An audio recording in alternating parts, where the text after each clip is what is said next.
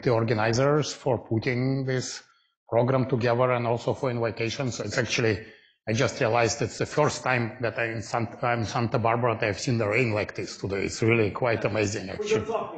Yeah, especially, yes, exactly. So, okay, so this uh, talk will focus on using this kind of uh, topics of long-range connectivity, long-range interaction for you know building quantum machines, and you know we will be building mach uh, quantum machines using neutral atoms. And this is an image of something which is called magneto-optic trap. So that's how all of these experiments, which I'm going to tell, you about, start. So we typically start with something like 10 million um, uh, of atoms. So in principle, if we can control each of these atoms, you know, individually and kind of, you know, in a uh, uh, uh, kind of uh, complete, you know, system, we could have, you know, basically 10 millions of, of, qubits. And if it's uh, too few, there are ways to actually add to that. So basically the challenge here is that given that we have a, a large number of cold identical uh, neutral atom qubits is how to control them. And so basically kind of motivated by that, um, a few years ago, in collaboration with my colleagues, um, uh, Markus Greiner and Vlad Vuletić, we started kind of building a new approach to kind of uh, uh, scalable uh, quantum systems where we literally build quantum systems atom by atom. So here what we do, we start with atoms uh, um, uh, trapped in optical tweezers and we then basically, you know, typically tries, try to load many of them at once and, you know, this is not always successful. The system, for example, shown here has a lot of entropy. And So the way how we get rid of the entropy, we take a picture of the atoms, figure out which traps are full and which are empty, and basically rearrange them in any kind of desired uh, configuration. And so typically then the atoms are sitting few micrometers away from each other to make them interact. What we do, we excite them into Rydberg states. And, you know, that is the mechanism for which we enable, you know, uh, tunable, potentially long-range interactions.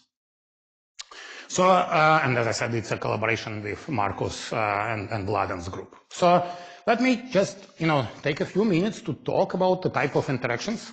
You know, even Wolf, you know, was already mentioned, you know, it's actually this Rydberg system feature very nice, you know, long range connectivity. Actually, in this talk specifically, we are not going to use this, you know, in direct way. And specifically what we'll do, we'll use the idea of Rydberg blockade, which actually makes this interaction in a way the shortest range possible and in, a, in such a way that it's kind of digital. So the interaction is either on or off. And the idea here is the following. So if you start with two atoms very far away and you drive them resonantly, of course, they will be completely independent. So there will be non-interacting. But if you bring them close, then this kind of strong interaction, you know, takes over very quickly. And so if we bring the atoms sufficiently close, then we'll create a condition where we can excite one atom or another, but never both. That's the essence of this Rydberg blockade. And so basically what, you know, and what follows, we will use this interaction to kind of, if you want, digitize the interaction process. So the interactions will be either off or on, and, you know, regardless then of how close the atoms are sitting to each other, at this point, the interaction is turned off.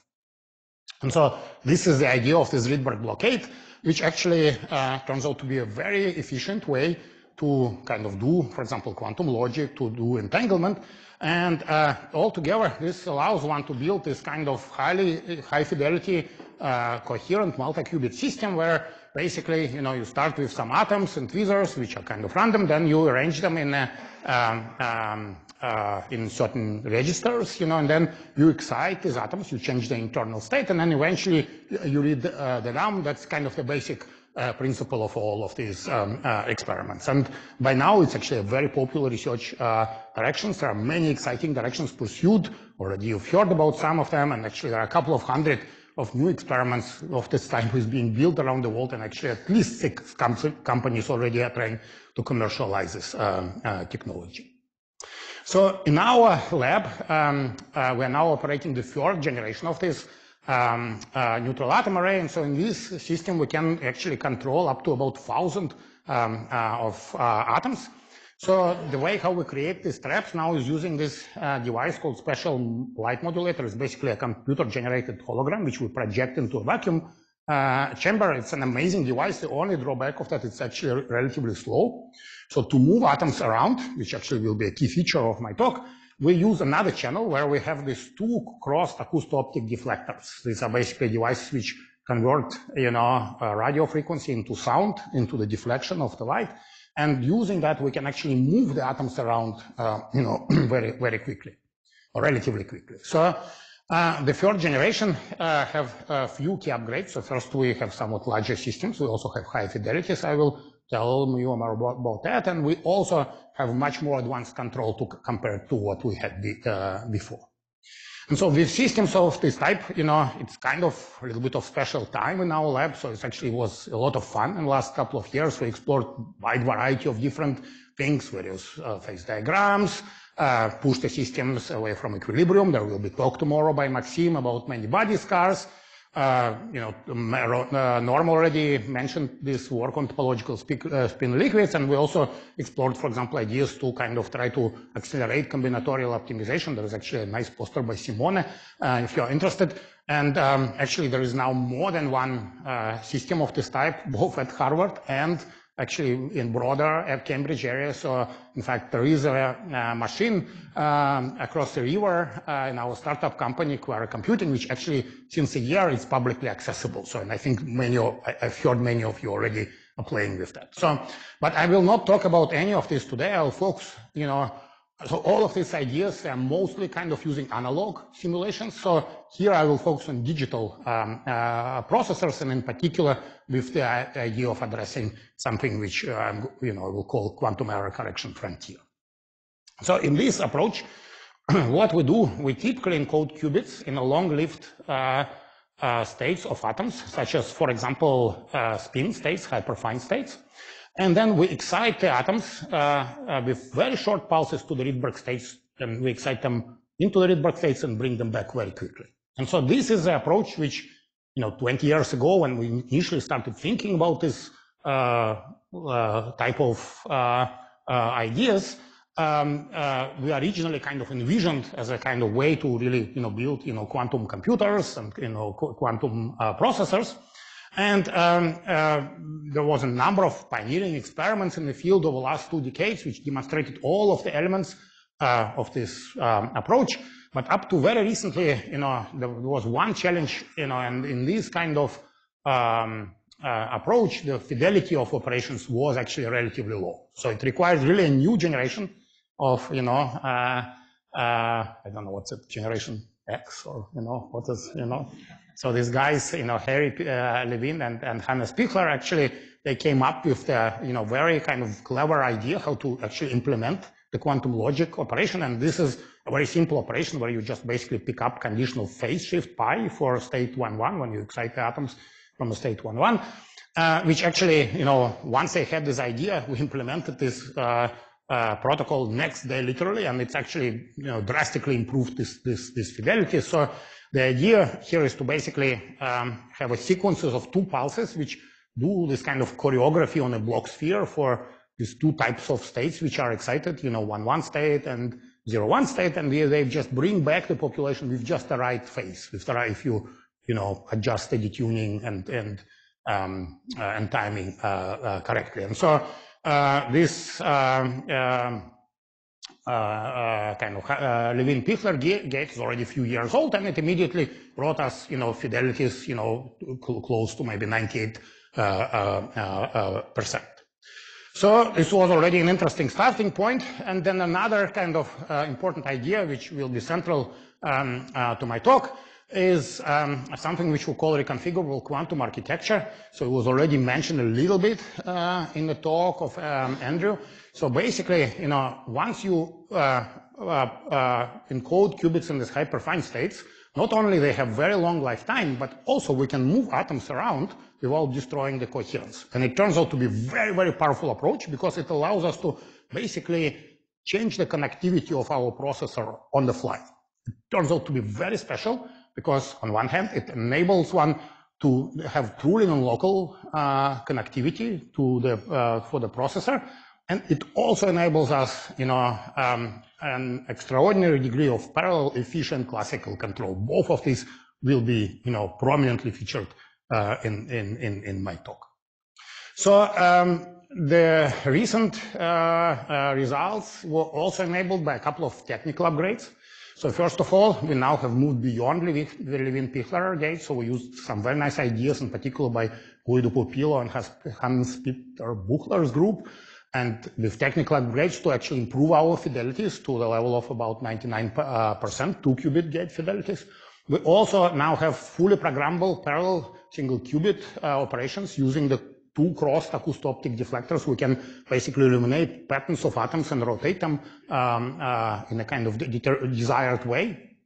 And finally, this reconfigurable architecture also allows us to uh, uh, read out qubits in the mid circuit. And what uh, we do to accomplish that, we just take some qubits which we want to read out to the separate zone and just image them separately, you know, without perturbing basically the rest. So uh, all of these things, you know, enable kind of uh, a new generation of experiments, and actually there are many different directions. So one can, for example, you know, uh, do analog simulation, then stop it, and then some, do some digital operations, for example, to measure things like entanglement. You can also have new tools for many body physics, you know, think about things like braiding and, and so on. So uh, we are also thinking, you know, in collaboration with Susanna's group, and uh, actually shown nicely by a poster uh, by Stefan, uh, to apply these ideas to simulate quantum chemistry, also topology, topological metal, like as gauge theories, and actually, you know, um, uh, people like, you know, Peter's uh, group, you know, start really thinking about some very fancy ideas of building for fermionic quantum computers. So all of these are actually very cool, and I think they really label, label a new, completely new playground for these quantum simulators.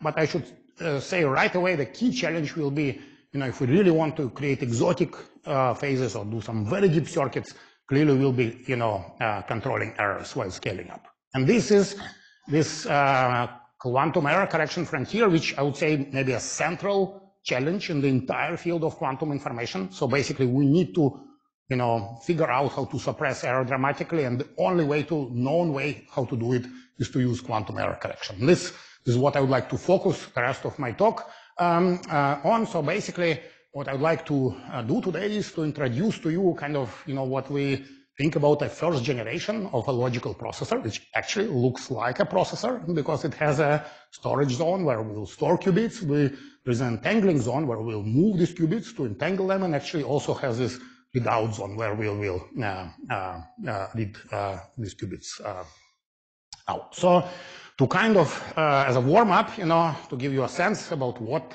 you know, type of things we can do, I will just have a very quick, you know, recap of what quantum error correction, and I'd like to thank Andrew for fantastic introduction here. So, um, so basically, the quantum error correction uh, ideas built on the ideas of classical error correction, where basically use uh, one uses redundancy, for example, to encode, you know, one zero in, in three zeros, and um, uh, basically, you know, then you know, correct, you know, uh, by just majority voting. Of course, extending it to quantum domain seems initially daunting, and actually I still remember this time where people said, oh, quantum error correction is impossible um, because of things like no cloning theorem, you cannot duplicate information, you also cannot measure, you, it looks like we need to measure the state to actually correct this error. But nevertheless, you know, um, it turns out it is possible to do uh, quantum error correction, and the idea here is you want to store the information non-locally. So you basically distribute, use entanglement to distribute one qubit one logical qubit among uh, many uh, physical uh, qubits. And then what you do, you, you, measure something which is called stabilizers to basically detect local errors without destroying the quantum information encoded. And through use of this non-local um, encoding, so these logical qubit degrees of freedom uh, are very hard to accidentally, accidentally manipulate. So that's kind of the basis of this protection. So if one of these qubits is flipped, you can measure certain stabilizer and figure out that error occurred without destroying uh, the, uh, the quantum information. But of course, you will realize immediately, you know, that this delocalized quantum information is also what makes it hard to manipulate it deterministically. It's what it makes it hard to, for example, do quantum logic between these uh, delocalized um, uh, qubits. So to kind of, as a kind of warm up, you know, uh, let me um, uh, talk about, you know, something that, you know, Andrew mentioned. He mentioned surface code. So the kind of the even, you know, predecessor to the surface code was the toric code, was actually the idea of Alexei Kitaev, who actually showed that, you know, basically if you kind of have a grid of qubits uh, uh, on this uh, non-trivial topology, you can use kind of, you know, uh, uh, topology to gain insights about how quantum error correction works. So for example, if you encode a logical qubit in something which goes around uh, uh kind of, you know, uh, a, a torus, what you need to do, you need to basically, you know, effectively cut this torus, you know, you know, basically destroy a lot of qubits which go wrong the other direction in order to damage this information. Otherwise, you can really preserve this, this, this, this qubit. But so basically, you know, the way how it's sorry, done, it's constructed from data qubits, which you, where you store data, you, and stabilizers, which local, uh, which measure this, you know, uh, sorry, ancillas, which measure local stabilizers. Uh, and, you know, um, uh, you know, this is kind of the basis for uh, uh, this type of approaches, but you would immediately say, well, like doing, creating this toric qubit on a torus seems kind of complicated, you know, because we have two-dimensional system. Actually, it turns out not to be the case, you know, because we can move qubits around. And here is a movie which actually shows how to create a toric code on a torus, which we've done already a couple of years ago, where basically there is this one long range move which kind of closes this torus. So these are these ancilla qubits which measure these local stabilizers, right? And basically this kind of one move, you know, is what actually enables this, you know, uh, uh, uh, kind of implementation of this non-trivial geometry. So there are two things which I want to mention. So first off, to make this movie, so in this movie, what we do, we can call two qubits, actually, one going one way and another one going another way. But actually, in order to do it, we just use two control parameters, two control voltages. One is moving this grid of ancillas up and down, and one is left and right. And so, and, you know, in fact, you know, it can be programmed, uh, program, programmed very efficiently by just, you know, specifying this spatial light modulator profile and AOD uh, waveform, and this kind of efficient control over uh, logical qubits rather than classical qubits is really the key kind of feature of my talk. It's the key to what I will show in the following. So, okay, so let me kind of illustrate it now specifically with the uh, idea of doing quantum logic between two encoded qubits. So suppose we have two logical qubits, you know, delocalized, you know, in the way how, how it's uh, uh, shown here. So uh, in general, if you want to do quantum operation uh, between them, uh, there are a few approaches. And one approach, if you have only local connectivity, what you need to do, you need to do something which is called lattice surgery. You need to basically merge these qubits and then somehow make sure that each you know, the information, you know, stored here somehow starts, you know, feeling the presence of the information which is stored on the light. So actually in practice, it involves actually braiding of, of qubits around. And uh, it, turns out that if you want to make this braiding fault tolerant, you need to actually make many of the stabilizer measurements. In fact, you need to make around D rounds of stabilizer measurements. But actually, it turns out that that's not the only way to entangle logical qubits. And actually, there's another way, which has been known already since about 20 years. And this is something which is called transversal gate operations. So what one can do is one can just take one of these uh, blocks, move it on the top of each other, and then basically do local, for example, controlled NOT operations between pairs of qubits, you know, and actually it turns out that it, you know, due to transversal property, it will actually implement the gate between two logical qubits. So these uh, transversal operations, transversal logical uh, operations, turns out to be very, very powerful. First of all, because they're inherently fault tolerant, so the errors don't have a chance to kind of spread very far. So actually, it turns out you don't need the rounds of uh, error correction. Moreover, connected to this subject of the conference, this enables a long-range direct connection between logical uh, qubits and can, you know, save you significantly in terms of this kind of swapping and you know, kind of, you know, straight transfers. But actually what's more importantly in terms of our uh, approach is that, you know, in this kind of Uh, situation, what we can do, we can really treat each of these kind of logical qubit as a kind of superatom.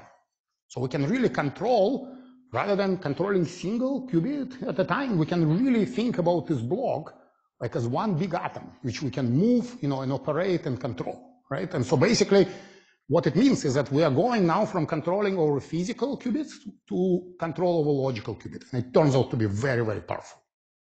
Okay, let me illustrate it on a couple of examples. So the first example is um, that uh, of the logical CNOT with the surface codes. So surface codes was introduced by uh, by um, uh, by Andrew. So in this experiment, what we'll do is we'll prepare one logical uh, qubit in a plus state, another one in zero state, and just do one entangling operation. And uh, uh, you know, the simplest kind of you know smallest example would be uh, there's um, uh, nine qubit encoding, basically distance free logical qubit. So what you can do here, you can just measure, you know, uh, basically, you know, prepare, you know, uh, one of these in the state plus and measure Z stabilizers, prepare um, uh, another one in zero and measure X stabilizers. So prepare their desired states like this. And then after that, all you need to do, you just need to move them on the top of each other, you know, pulse the laser, you know, uh, bring them apart. So this is entire logical operation, and this is the smallest um, uh, possible um, size, but note that in our approach, it really doesn't matter whether it has nine atoms, 25, or 49. You know, all of these things, you know, are done basically in exactly the same way. And so the key property, however, is that, you know, by increasing the distance, we should see that the operations improve with the system size. So I should note here is that a few miles uh, uh, away from here, earlier this year, there was actually some breakthrough experiment reported where uh, in the superconducting uh, platform, Pedram and co uh, collaborators implemented um, single uh, surface code of distance three and distance five, and just, you know, they watched it idling and tried to do multiple rounds of error correction, and they saw that, you know, basically, you know, this, the, the, the kind of properties improve. So here, what we would like to do, would like to do actually a gate, a quantum operation. And in fact, you know, here is the uh, measurement uh, of this entangled distance seven or two logical qubits, you know, which clearly shows, you know, one is an X basis, now in Z basis, clearly shows that they're entangled, you know, and moreover, um, uh, as uh, if you look at the um, uh, scaling with the code size, you know, you clearly see that the error in this Bell state uh, uh, preparation actually decreases with, with code distance. That's a key property of the error correction that one uh, should be looking for. So there is wide, uh, there is a number of like important details here. So in particular, so uh, uh, in order to observe this, we actually had to decode these two qubits simultaneously in a correlated way rather than independently. If you use conventional decoding, then the um, uh, error grows rather than decreases, you know. Uh, moreover, uh, um, uh, uh, I should also note that, you know, in this operation, all we, we, do is we do just one round of entanglement and we measure things. So in practice, you know, of course, you would like to, you know, do multiple rounds. So as a result, for example, here the effective threshold is somewhat uh, higher, but nevertheless, you know, this uh, experiment demonstrates for the first time that you can actually benefit in doing logical operation from kind of this, you know, error correction and kind of growing uh, uh, the, the, errors, you know, basically decrease with code distance. So I should also mention, and this will be like a theme of my talk, you know, is that, you know, if you ask, you know, people on the street, they say, oh, what, you know, what is this, you know, fault tolerance and so on. Is it like an, you know, how hard is it? And people say, oh, it's just an engineering problem. So I would like to point out and emphasize it, you know, a couple more times. I believe that it is, of course, very challenging, important engineering problem. It's also super exciting scientific frontier. Just to give you a little bit of glimpse, let me just uh, describe what is this correlated decoding. This is not something that we invented, but it turns out to be super useful. So basically, if you do uh, this transversal uh, CNOT, what happens is that basically errors will propagate. So for example, if you had an error on one of the qubits um, uh, here, you know, it will actually upon the CNOT, you know, it will actually propagate on, you know, into two uh, qubits, you know, constituting this um, uh, this uh, this uh, surface code.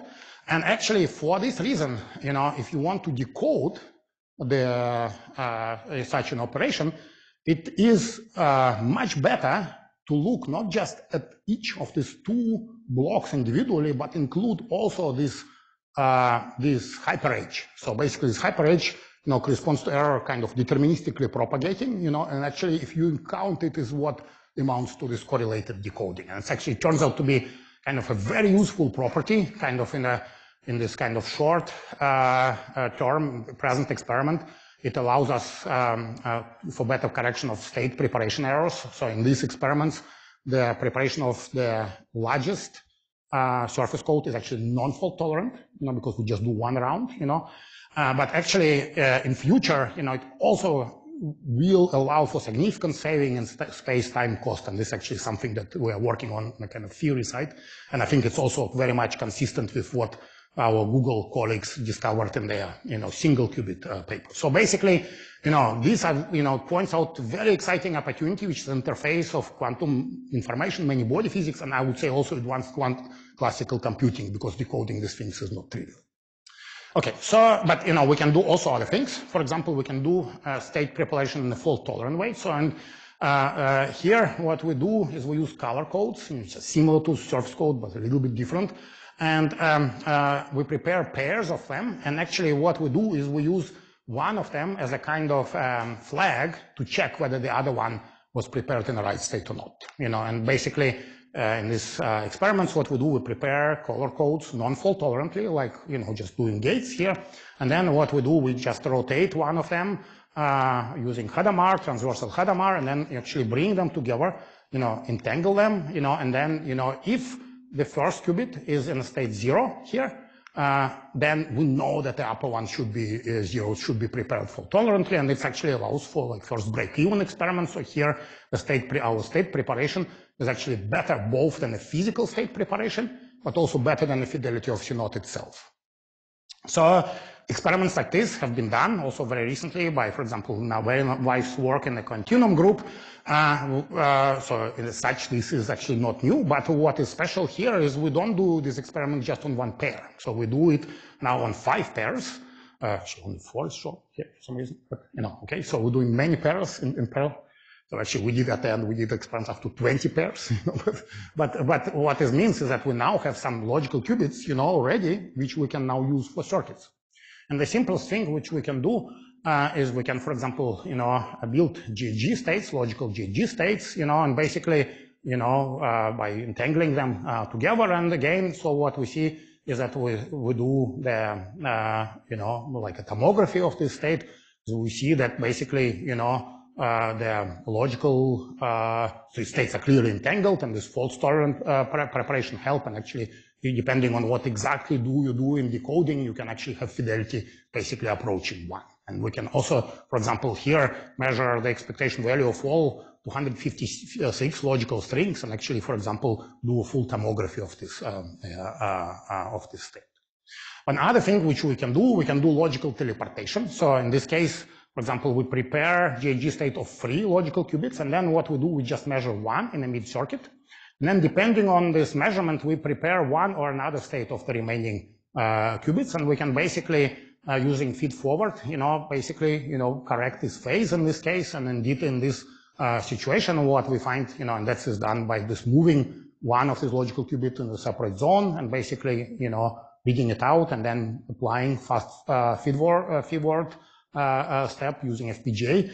And, you know, basically what we see is that this procedure also works very well and creates, in this case, a, a Bell state. So with all of these things, what you see now is clearly the architecture is emerging. So we have done some storage zone, some entangling zone, and some readout zone. And basically we start can start utilizing them to really explore algorithms with uh, kind of error-corrected um, uh, uh, uh logical uh, qubits. And uh, to do that, one actually has to be creative.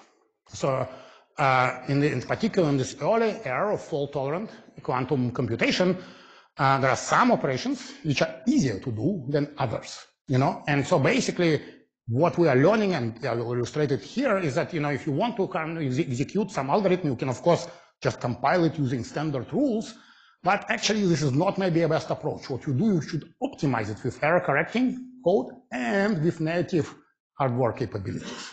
So I will just give one example, and I think I should be able to finish according to Alexey's prescription. So, and this would be a non-Clifford operation. So basically, you know, um, so far what I've shown involved something which is called Clifford cir circuits, which are X, Z, Hadamard, CNOT.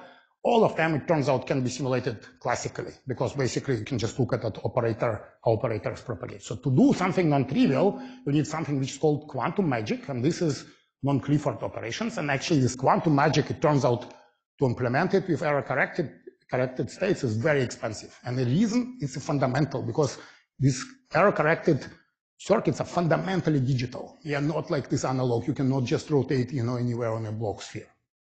So, uh, uh, and this is, you know, challenging, but, you know, one question one could ask, by, by being less general, can we efficiently generate states which have a large amount of this quantum uh, uh, magic in a kind of in an efficient way?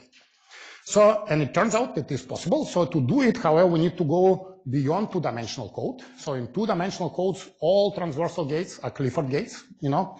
Uh, and but if if you go to the three-dimensional codes, for example, this is a smallest uh, color code in three dimension, 832 code, uh, which actually uh, exists on this edge on on um, uh, on on this on this cube.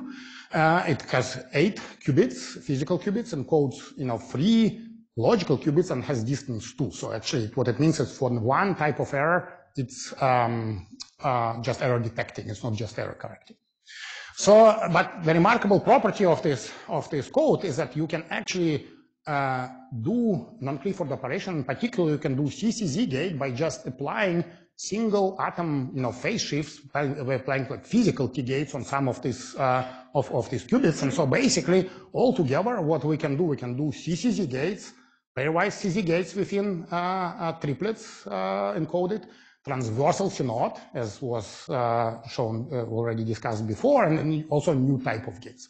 And altogether, this allows us to really do some non-trivial circuits. So specifically, the circuit which we'll now consider will be the following. So we'll prepare logical state and a state plus, and then we will do uh, rounds, including the CCZ, CZ gates, and CNOT gates, and then you know permute them with several routes, and then eventually measure kind of um, everything in kind of in X basis.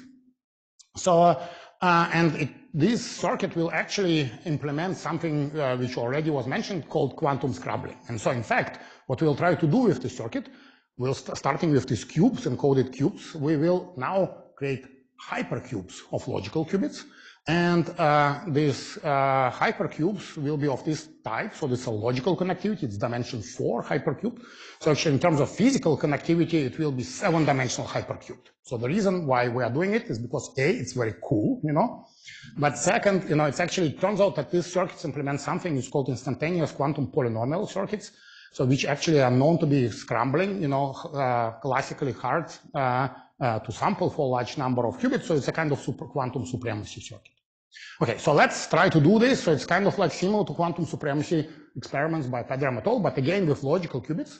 And so here is, you know, example, small circuit with 12 logical qubits where we basically, um, you know, still can plot these probabilities of different bit strings. So this is a theory, you know, and when we start, when we don't do error correction, you know, we see something maybe resembles a little bit, but not really. So now we turn, in this case, error detection. You know, and what we see is this, you know, this desired probability distribution beautifully uh, emerges from this. And so one can quantify it in different ways. For example, you can look at XEB, which is here uh, basically like a, a, fidelity, and basically it shows that, you know, results with this error detection are very close to ideal state. So we went forward and did these experiments also with 24 and 48 logical qubits, and this 48 logical qubits. So here is a circuit at a logical level where we, which we implement. And what we see is that this error detection in this case still considerably improves the performance. In fact, it's more than factor of 10 better than best physical implementation. So this is actually a physical kind of graph which corresponds to this logical circuit. So, and um, uh, this uh, result is all is, you know, means that we, it's really these algorithms perform very, you know, successfully, in fact, improve upon what is possible to do uh, with physical qubits. So here is a movie, how we make this, uh, uh, uh, this circuit. So it started by making small codes, and then you see you, you entangle more and more. So here we run out of space, so we have to move some of these qubits, drop them in the storage zone, bring the other, and then entangle again them locally, right? And then start entangling logical qubits, you know, uh, bigger and then bigger again. And then in the final step, we will entangle them all. We'll bring them this up and just entangle them all. You know, so this is uh, the, the operation. So you could say, okay, why? It's, it's kind of a lot of fun. Is it actually useful? It turns out it can be useful. And uh, yesterday there was talks about Page curves and entanglement growth. So actually we can prove, probe the entanglement growth of this circuit. So the way to do it is to use two copy measurements. So this two copy measurement is a very powerful tool, uh, which allows you to extract, you know, a lot of information. So basically it's fully compatible with logical qubits and transversal CNOT. And uh, what we do here is we basically, in this case, we do a scrambling circuit on 12 logical qubits, you know, in two copies, you know, and then just do the Bell state measurement and the result is shown here. So basically, if you don't do any error detection in this case, you know, what you see is that your entanglement entropy, you know, basically growing and eventually saturates. But if you apply error detection, what you see is beautiful Page curve. It's in space rather than time, but nevertheless, you know, um, kind of very special. So it really shows you that logical qubits uh, can be useful for probing physics of entangled system, and there are really exciting opportunities with these early fault tolerant processors. So uh, I think there are exciting avenues opening ahead. So I think we have a clear path to building devices with maybe about 100 logical qubits and reasonably deep circuits. And there are also opportunities to scale them even further. For example, with quantum LDPC codes, which were mentioned, you know, which we're very, very interested. And I think, you know, it's really kind of, you know, exciting both in a medium scale, but also um, uh, in a kind of, uh, um, you know, long run. So I hope I convince you that it's really an exciting uh, scientific frontier, and I would like to um, basically stop uh, here by thanking you for your attention and thanking all these people whose blood and sweat, you know, result in these works. Actually, this work was mostly done by a small group of graduate students and postdocs, but of course also with support uh, of QuEra, which we have a very nice collaboration. Thank you so much.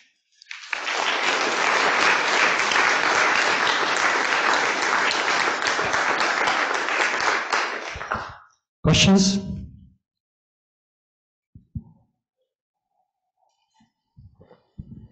Uh, very nice talk. Thanks. Uh, I, I, have a question about your non-Clifford yeah. case. Uh, in the in the scrambling circuit, did you do code switching to? Did you do code switching? No, we don't need to do code switching in this case. So the reason is that so basically this um, uh, this 3D code it allows us to do non-Clifford. It uh, will lose um, uh, Hadamard, but we still we can prepare qubits in the X state. So what we do, we prepare qubits in the X state, and we just run the circuit. We do not need to do code switching. Okay, right? got you. Thanks. So it's not the general, but it's you know for that it's actually it's a fastest scrambler in terms of. So so it's like a X state is uh, like a magic state for your circuit, and your circuit is not. In, in some sense, like that, right? Uh, there's no, there's no magics. Well, I mean, magic is injected through these CCZs, you know.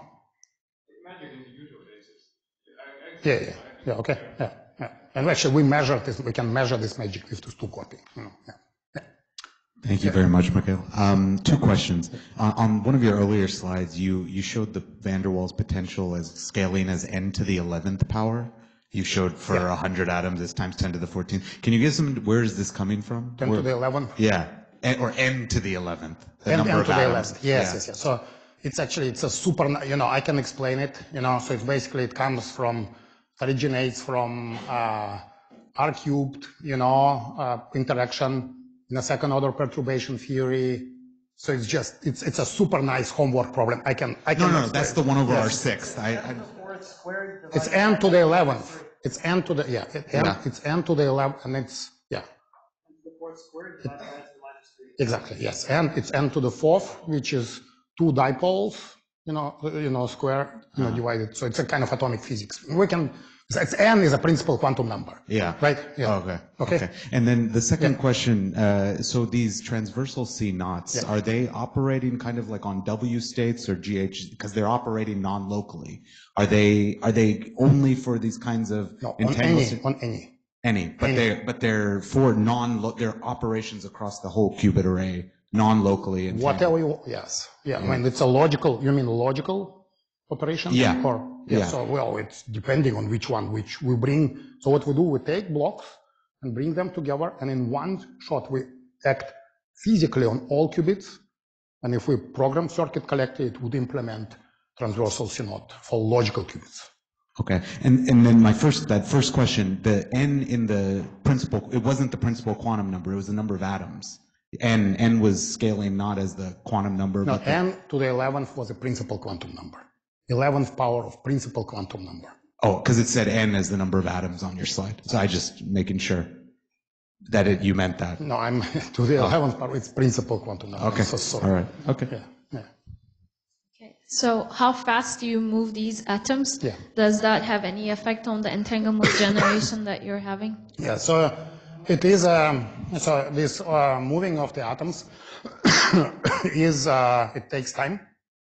So the kind of time scale is about, um, you know, 100 microseconds, you know, maybe even, you know, a couple of hundred microseconds, you know, um, in this case.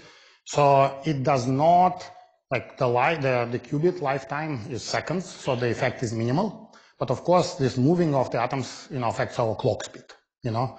And uh, this is something, you know, for that, of course, it allows us to do all-to-all connectivity. Um, and, you know, there are ways to kind of accelerate that. You know, it's not a limitation now, but, you know, for future, there are a couple of things we're thinking about. Yeah, how to accelerate. Yeah.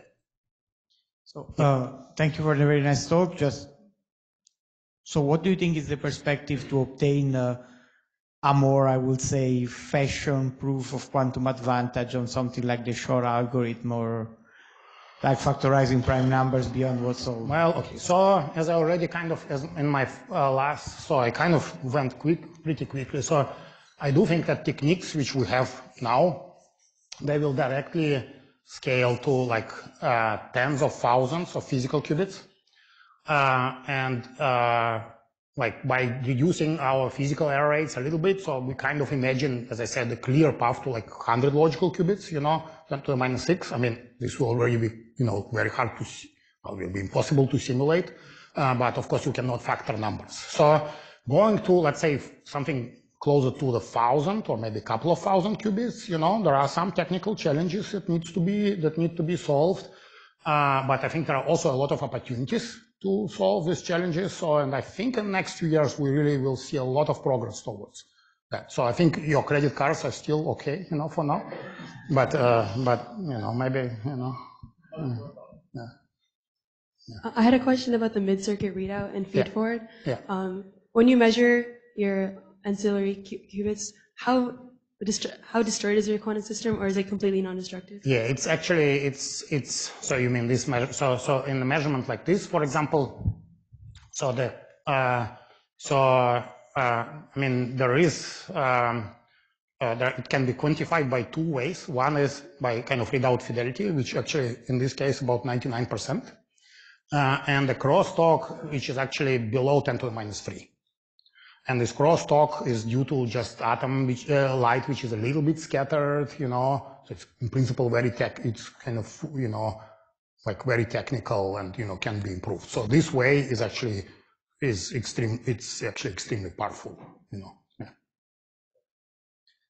Um, thank you for the talk. Um, I was curious about the 10K atom limit that you mentioned.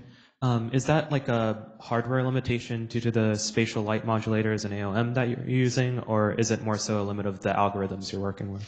No, so it is, um, so this 10K basically limit comes from just taking the techniques we use now and try to, to basically just use them with a little bit better optimized, you know, settings. So for example, right now, uh, we have the, uh, the objective with about, you know, 400 micrometer field of view, right?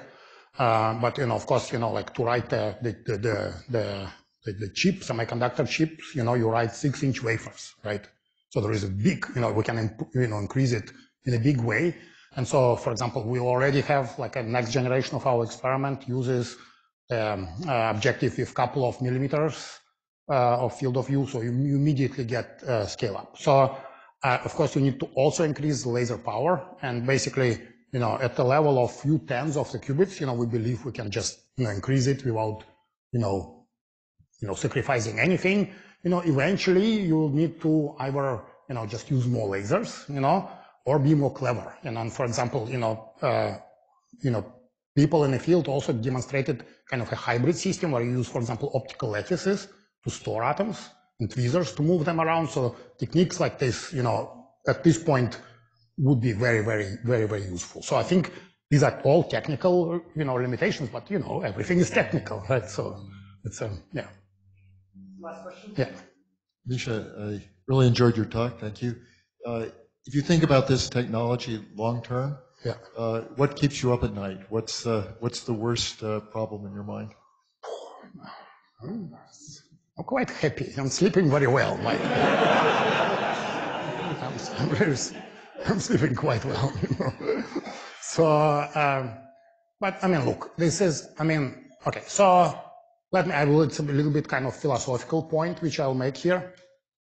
So, you know, you know, people and like, you know, you know, working in this, you know, sort of, you know, frontier of building quantum computers, you know, oftentimes after like the first few experiments, you say, oh, you know, we have fidelities of 90%. I mean, theoretically, we should get four nines, no problem, you know, it's all engineering, right? And, you know, it is, you know, there is a lot of engineering, but these statements are kind of shallow, right? And basically, you know, like, for example, like, I would love to push fidelities to four nines because then every, you know, all overhead will be, you know. So, but, you know, at this point, I think we have a very clear path to three nines because we understand our errors and so on, but we don't understand what will limit us beyond three nines, right? So kind of like, you know, that's one in the direction. Another direction, which you might, you know, so look, it's, you know, the technical thing.